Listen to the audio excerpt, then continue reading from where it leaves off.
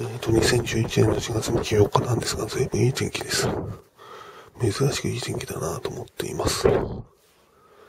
昨日雨が降ったの相当雨が降ったんですけども、今日はそれが晴れて、とてもいい天気になっています。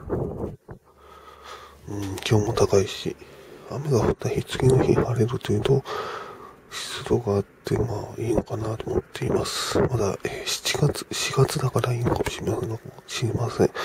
知りませんが、これが7月だったら、随分蒸し暑くなるだろうなとは思うんですが。